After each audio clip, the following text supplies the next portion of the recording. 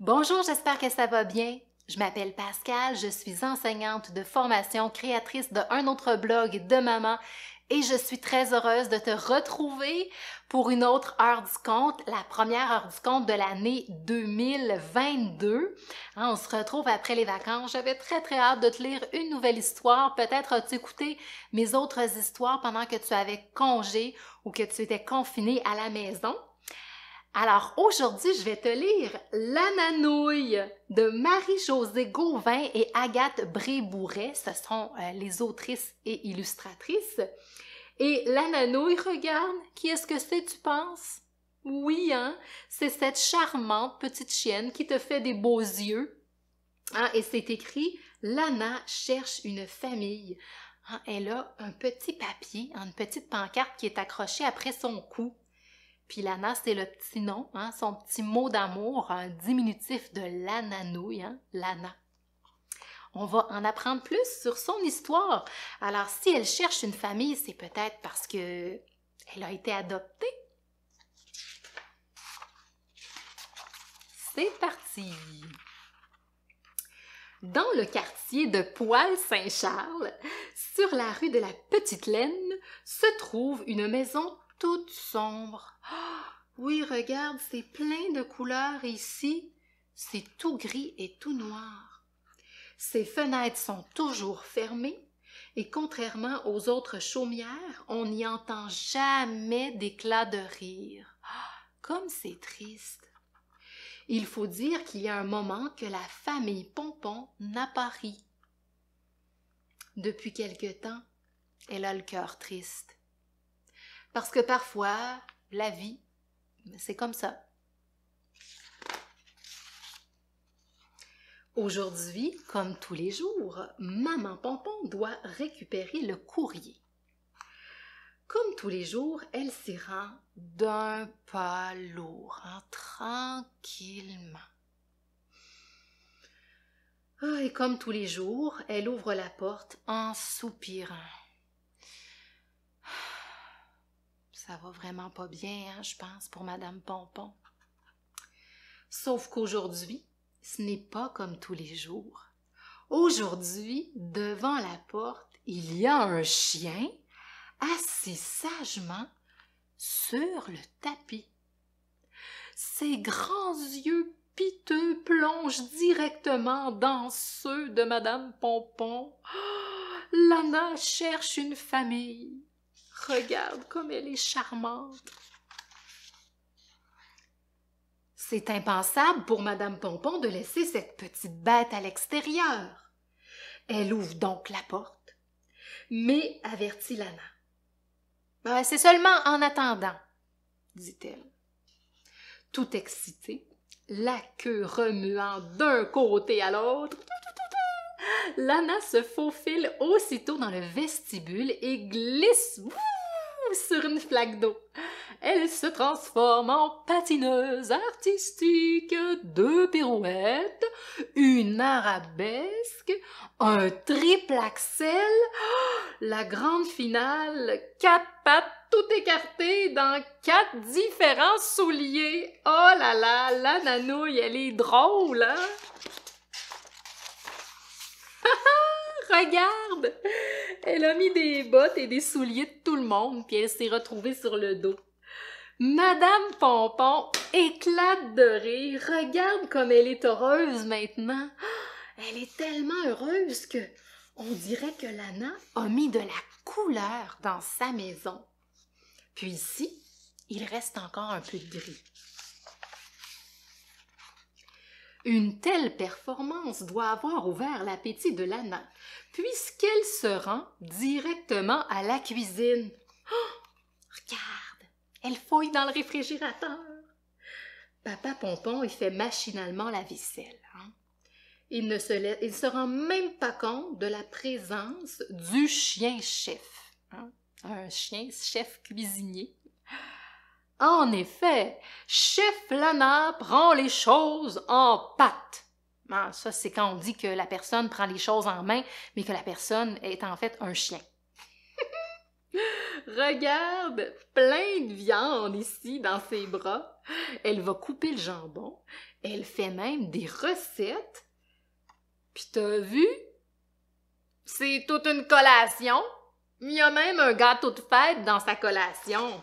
Je pense qu'elle exagère.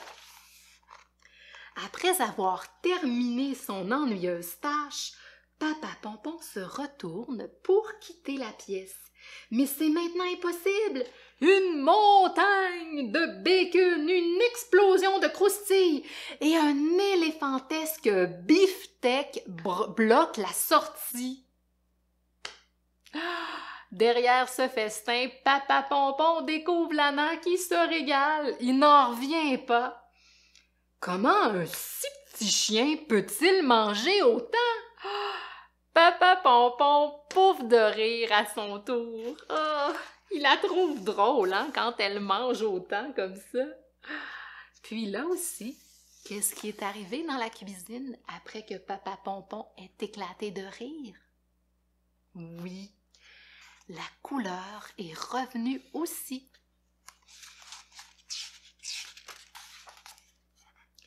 Lana quitte la table pour poursuivre son exploration au salon, suivie des parents pompons. Oh, mais qu'est-ce que c'est que ça? L'immense collection de trésors musicaux de la famille. Oh, c'est un tourne-disque. J'en avais un quand j'étais petite, parce qu'avant c'était comme ça qu'on écoutait de la musique. On prenait un disque puis on le faisait jouer. Papa et maman Pompon n'en croient pas leurs yeux. Lana positionne l'aiguille sur le tourne-disque et jette son dévolu sur un partenaire de danse. Bon, euh, ce n'est qu'un vieux coussin, mais Lana et lui tourbillonnent dans le salon. Papa et maman Pompon se laissent eux aussi emporter par la musique. Ils, ils virevolent comme du temps de leur jeunesse.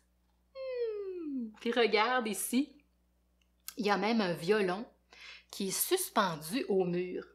Je pense que papa et madame Pompon aiment beaucoup la musique, mais peut-être qu'ils s'en rappelaient plus.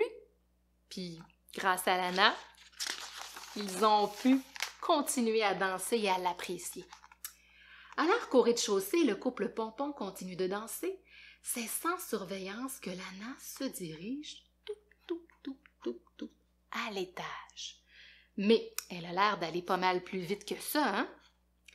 dans la grande salle de jeu désertée, au milieu d'une foule de déguisements éparpillés, une petite sirène s'est échouée.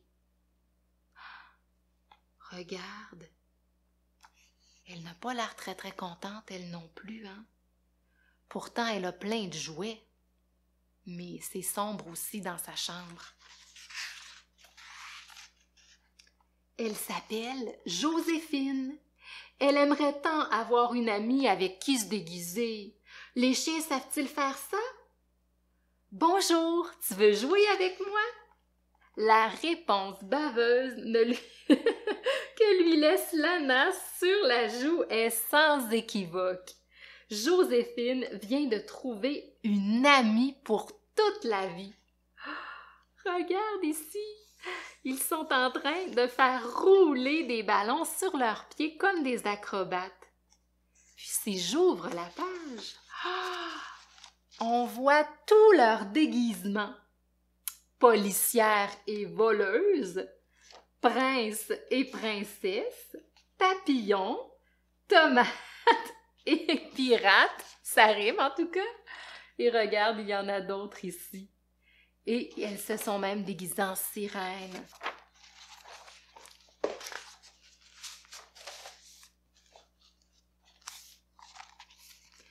La partie de plaisir s'arrête brusquement quand les nouvelles complices aperçoivent au fond du garde-robe l'ennemi juré de Joséphine.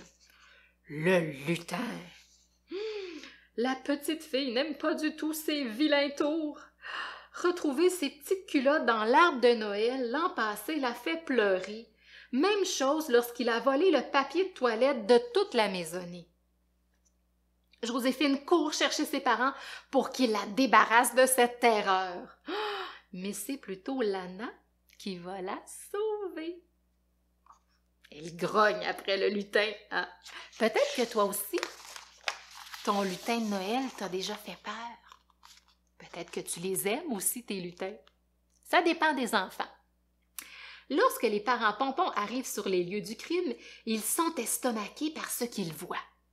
Le lutin toutou est vidé, un de ses bras arraché et tout son corps encerclé de caca. et juste à côté, une Lana remplie de fierté. Elle a même fait caca autour du lutin qui terrorisait Joséphine. Elle a même une cape de super-héroïne. Hein. Une fois le plancher lavé, la famille Pompon décide que c'est au tour de Lana de se faire savonner. Une seule patte dans la salle de bain et Lana se met à trembler. Oh, on dirait bien qu'elle craint l'eau encore plus qu'elle déteste les chats. Elle a peur de l'eau. À travers la mousse qui envahit la pièce, tout ce que les pompons aperçoivent, ce sont deux immenses yeux apeurés. Tout le monde se met à rigoler. Lana profite de ce fou rire familial pour se sauver. Elle descend les marches à toute vitesse pour aller se faire sécher dans la pièce la plus ensoleillée. C'est quelle pièce tu crois? Wow! Plus personne, sauf beaucoup d'araignées, ne se rend dans le solarium depuis des années. C'est vrai, un solarium, ça ressemble au mot soleil. Hein, il y a plein, plein de fenêtres, plein de vitres pour faire entrer le soleil et il y fait très chaud. Puis, il y a des petites araignées qui ont fait leur maison parce qu'il n'y a plus personne qui allait dans cette pièce-là. C'est pourtant l'endroit parfait pour lézarder au soleil toute la journée. Regarde Lana comme elle a l'air bien hein, avec ses lunettes fumées et sa petite limonade. Après l'avoir cherchée partout, la famille Ponton retrouve enfin Lana étendue en train de se faire bronzer. Ma foi, Lana, tu es une véritable Kardashienne. Et là, ils sont en train de rire. Hein? La nuit prend sa place tranquillement dans la maison. Habituellement, chacun va de son côté. Mais ce soir, ils sont tous réunis dans le petit lit de Joséphine. Il y a des lunes qu'aucune histoire n'a été racontée dans cette maisonnée. Mais comment résister à Lana qui se pointe le bout du livre? C'est Lana qui a rapporté un livre dans le lit de Joséphine. Elle veut que la maman ou le papa raconte une histoire, comme je suis en train de faire présentement. C'est Joséphine qui tourne la dernière page.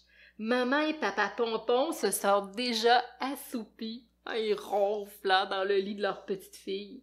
Et l'histoire que Joséphine a lue avec Lana, c'était La princesse endormie. Hein, c'est écrit sur son livre. La petite fille fait une place à Lana sous les couvertures et éteint. Toute la famille passe la nuit dans le petit lit, bordé d'un grand bonheur. Ah! Ils n'ont pas beaucoup de place dans leur lit, hein? Mais c'est pas grave. Tu sais pourquoi c'est pas grave? C'est ça, parce qu'ils sont bien, hein? ils sont heureux. Quelques jours ont passé depuis l'arrivée de Lana. En attendant, c'est transformé pour toujours. Ah, ils vont toujours la garder. C'est l'été. Dans la cour arrière, la famille Pompon fait la fête. Papa joue de la guitare, maman chante, Joséphine danse. Ils s'arrêtent un instant, collés collés. Ils regardent leur maison. Elle a complètement changé. Ah, regarde, elle aussi, elle a retrouvé ses couleurs, hein? Les fenêtres sont ouvertes et leur rire y résonne. Enfin, on entend des rires dans leur maison. Et dans toute cette joie, retrouvée, surtout, il y a Lana, oui, Lana Pompon, hein? elle est devenue un membre de la famille officielle. Oh, regarde, la vraie Lana avec la vraie Joséphine. Elles existent pour vrai la petite fille et la chienne de mon histoire, puis elles sont déguisées en sirène.